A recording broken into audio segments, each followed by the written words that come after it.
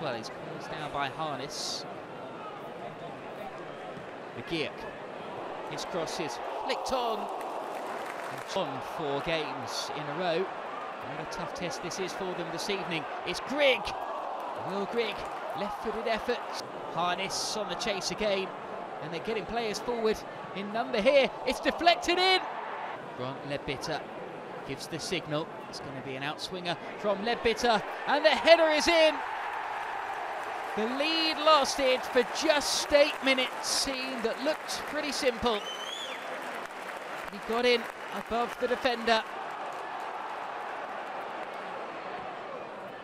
Clearance is crossed in, and a great chance. How did he miss that?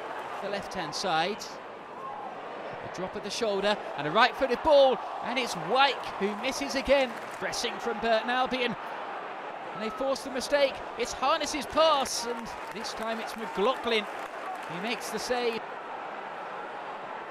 Fraser plays it through. It's nervy at the back for Sunderland, and it's off the line by Baldwin, the goal scorer. Bodies in the way of the ball. Leadbitter. They want him to shoot. Instead, he crosses.